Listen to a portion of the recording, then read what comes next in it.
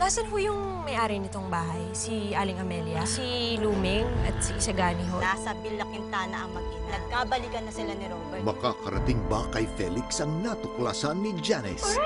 Snooki? Pinabantayan ko kasi yung nanay ko eh. Ayaw niya kasi tumigil ng kakaiyak. At ngayong Huwebes, malalagay sa panganibang buhay ni Isagani. Villa Quintana. Pagkatapos ng Itbulaga,